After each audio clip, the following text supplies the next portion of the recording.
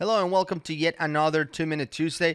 Today we're going to be reviewing one of the settings that we can change with one of my favorite free tools for Dynamics 365. The tool is called OrgDB Settings. There's actually an app that you can import into Dynamics 365.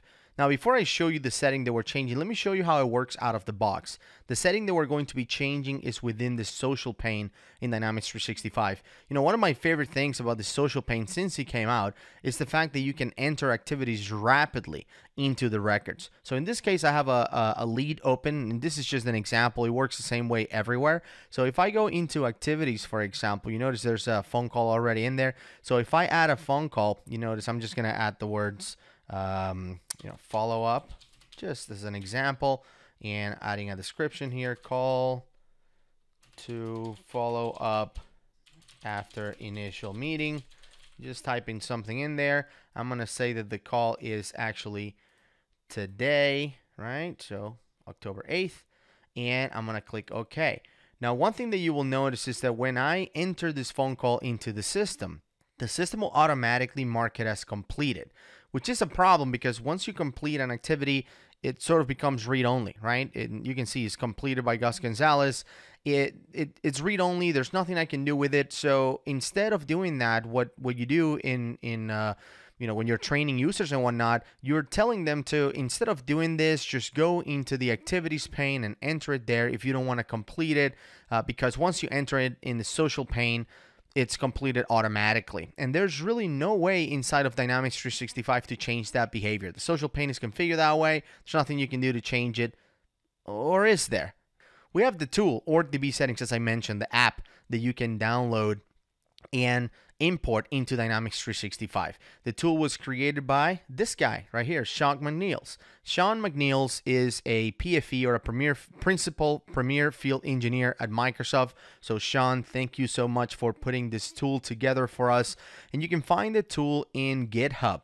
So let me show you um, the project for it. So here's the GitHub page for it, orgdb settings or orgdb org settings, I guess is the official name of the tool. So go in there and download the solution and import it into Dynamics 365. So once you import it, this is what it looks like. So you open the solution and it comes with a bunch of different settings in here that you can change in order to sort of modify the default behavior of Dynamics 365 behind the scenes. Now, all these changes are supported via the SDK, meaning you can use you can use code essentially to change these settings behind the scenes. And there's a bunch of cool ones in here.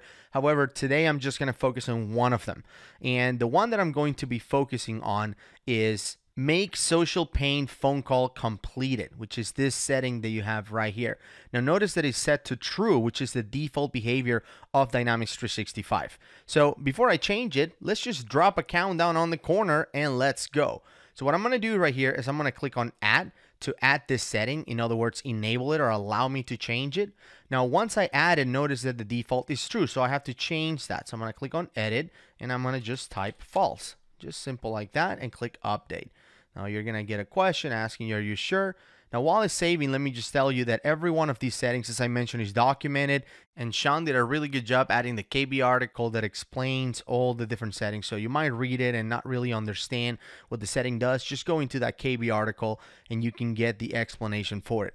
But that's pretty much it. So once you once you switch it from true to false, now we can go back and test how the tool will work. So let me just go back into this lead. Let's just open another record. It doesn't really matter uh, which record it is. Let's just go to a contact, for example, and open a random contact in the system. Obviously, I'm not set up with the view. So I'm just going to open Cat Francis, the infamous Cat Francis, right? That's been um, one of the sample contacts in Dynamics for forever. So again, you go to the activities, um, you know, tab within the social pane. I'm going to click on add a phone call. And now I'm going to add, again, a follow-up call in here.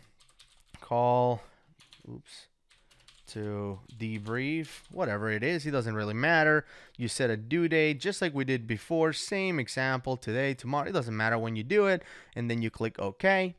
And the phone call will be saved, but notice that instead of saying completed by Gus Gonzalez, it just says modify and you have the complete button right here, which means that the phone call now stays open, stays active. You can go back in there and type a note. Since I know since I don't need to call Cat Francis until the 10th, I can go back in there and click on my phone call record, add some more notes in here, obviously as you can see, and I have a super loud keyboard as you can tell.